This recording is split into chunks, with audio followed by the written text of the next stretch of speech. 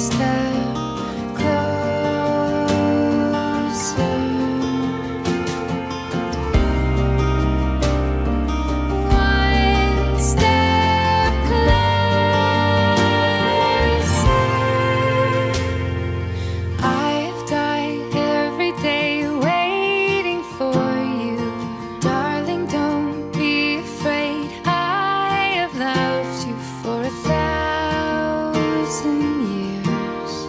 I love you for a thousand.